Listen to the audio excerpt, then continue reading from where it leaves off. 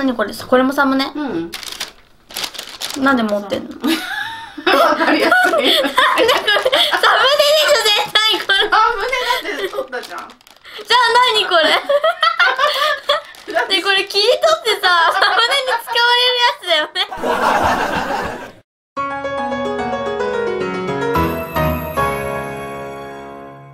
皆さんこんにちは。よりみチャンネルのしほですはいということで今回はね久しぶりにですね雑貨屋さんに行ってまいりましてその時に買ったねいやその時に1000円チャレンジをしまして今回はねその1000円チャレンジで買ってきたものを紹介していきたいと思います。はい、まあ、で毎回ねよくあの雑貨屋さんで買ってるところもね撮影してたんですけど今回はちょっと人もいっぱいいていっぱいいたね。はいなのでねあの撮影はせず、まあ、買ってきたもの、まあ、1000円なのであの買ってきたものをねそのまま紹介したいと思います。はいということで私ね最近文房具に疎くて。なんか最近全然文房具見てなかった、まあでも文房具だけじゃなくて雑貨屋さんに久々に行ったら結構やっぱいろんなものがあったよね、ありましたね、うん。はいということで紹介していきたい。1000円だからね。そんなには買えないはずなんだけど。ノート一冊で490円ぐらいでしょ？そんなにしたっけ？あれノート200 260円ぐらい。何のノート？5ミリ方眼え？100いくらじゃないの？あれってあれ100円なの？確か違った？まあいいやまあいいや。まあさすがにジャポニカとかは買ってないもんね。ジャポニカより高いイメージがあったの。あー。あそうああいうところは。あーそっかまあ行きます。はいまず一つ目がこちらのラメ入りヘアマーカークリームって言ってはい。これね髪に塗るとね髪がキラキラするっていう。はい。ラメ入り選んだんでキラキラなんですけど色付きもあってね半分以上もう売れてて売り切れ、うん。すごかった。ね。でね使ってみたいなと思って買いました。でこちらも550円で半分です でもめちゃめちゃ可愛いなと思って、ね。しかもこれシャンプーで落とせるんですよ。すぐ落とせるっていうのでねいいよね。使っても夜お風呂に入れば落ちるし、うんねカラーのやつも気になったんだけど在庫がなかったからねもうね、うでもそれでキラキラするらしいです。今度使ってみたいと思います。はい。次はですねはい、こちらでございます。こちらねこれモノクロで可愛いでしょ。ハンドジェルまあ、ハンドクリームのジェルバージョンみたいな感じかな。これからの季節ねもうほんと手がカサカサするからね。ね。ハンドクリーム。しほちゃんニベア派だけど私ニベア。まあおしゃれにねあの使えそうだよね。無香料だから匂いしないんじゃない？それ。無香料だったよねそれ。無香料だった。そうだよね。これどうやって開けるの？んこれもこのままこういうことか。こういうことだ。そういうことだよ。ジェルだから。結構ドバッと出んのかな。それが気になる。音 が出た？あそんな出ない。あそんなちょびちょびしか出ない、うん。うんどうなの？うん匂いはなし。匂いはなし。でもなんか最近ほら消毒するからさ手の、うんそれと同じ感覚かね、うんどれと同じ感じなんか消毒って感じ。消毒って感じだね。でもこれは消毒じゃなくてハンドジェルなんです、ハンドクリームっていう感これねあの遊びに行く時とか。じねうん。外に出かける時とか。これはおいくらですかこれはですね。400いくらだっけ？これ550円。あ550円？えじゃあもう。もう1000円じゃん。えこれいくら？これ550円。それは？550円ちょっと1000円越してるじゃん。あれなんでこれでも600円なんだけど。やばいね。これラスト1個あるんです。すいません。なんか1000円越しちゃって。こちらのちっちゃいレッドなはい。消しゴムでございます。こちら60円なんですけどあ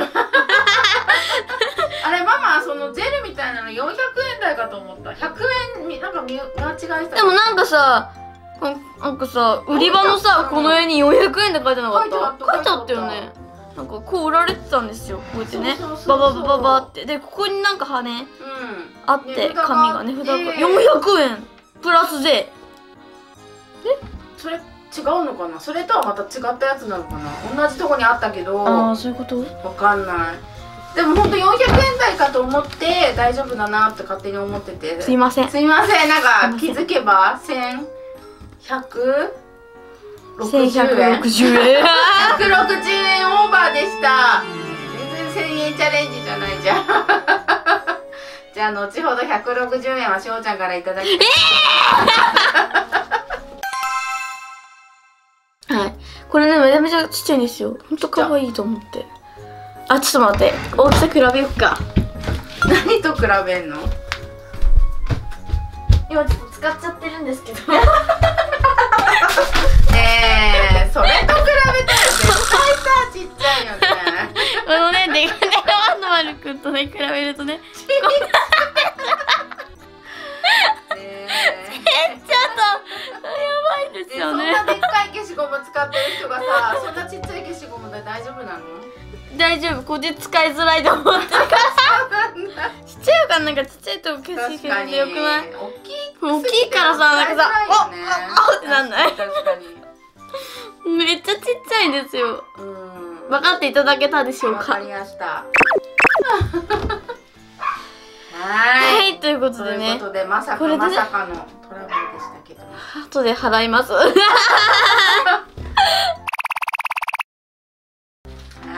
はいはいということではい。もうねおまけで買ったものがあるんですよ。あそうしおちゃんが自分のお金でねはい。買ったものがついでついでっていうか別でね。はい。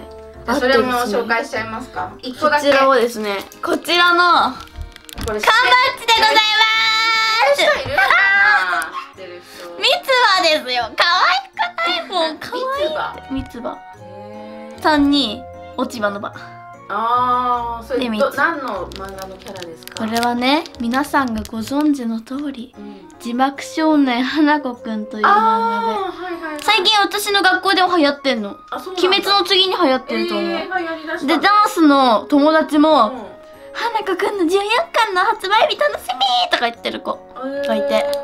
それなんか最近人気だよね。なんかううん。ん鬼滅の次に人気。いや鬼滅の次は進撃かもしれないけど。まあ人気です。へえ三つ葉可愛いでしょ。男の子なんだよ。可愛い。男の子なんだ、うん。可愛いでしょ。知ってる人いるかな？見てる人にね。いるでしょ。いるでしょ。でも自爆少年花子くんはね見てる人結構うん結そうだよね。構いるしうん。人気だと思うから。うん確かに。キャラ可愛いよね絵柄可愛いよね。もう可愛い。そうしおちゃんこれがねもう欲しいって言ってね、買いました。これは別でしおちゃんお小遣いなんですけど。他にもね。はい。いろんなね漫画のね。最近売ってるよね。鬼滅のさそうそう鬼滅期間にちょっとみたいなのがあはい今もうって鬼滅の映画がやってたから鬼滅グッズがもうどこの雑貨屋もバーンってね。すごいあのメインで鬼滅グッズでさそこに子供たちがいっぱい集まってそこにちょこっとあんのよ。そうちょこっと別の漫画別の漫画も。しおちゃんはそっちなんですよね。私は鬼滅にうわーってなんかちょこんとコーナー行くんですよ。もちろん鬼滅も好きで鬼滅の映画も見てるんだけどそっちなんだよね、うん。は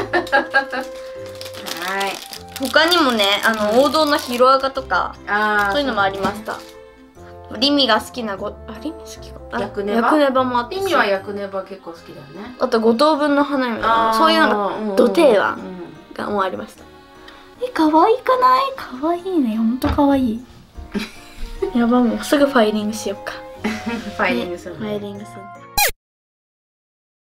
はい、はい。ということで、まあ、今回の企画は雑貨屋で一応1000円チャレンジということで1000円分買ったつもりでしたけども、けども。なんとなんとまさかまさかで160円オーバー。160円オーバーというミスを生じてしまいました。これ買ったからさ、うん。なんか過ぎてて当たり前だった金額あんま気にしてなくて。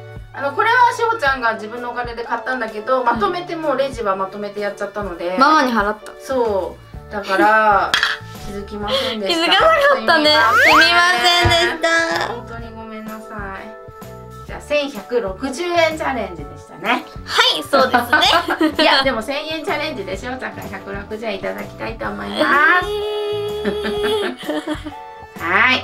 はい。ということでね今回はこの辺で終わりにしたいと思います、すいませんなんか今日はちょっとまさか1000円チャレンジはこんなに物が少なくなるとは思わなくて確かにもの少ないかも、今度このねヘアカラーってヘアマーカーかうん、を使ってね見たいと思います。今度お出かけ準備みたいな動画を撮った時に。そうですね、うん。はいということでそれではバイバーイ。バイバーイ。ほんとかわい。いすごいいいお買い物ができたと思う。ね。よかったです、久々に雑貨屋行ったね。ね。ほんと久々じゃない？半年ぶりぐらい。うん。バイバーイ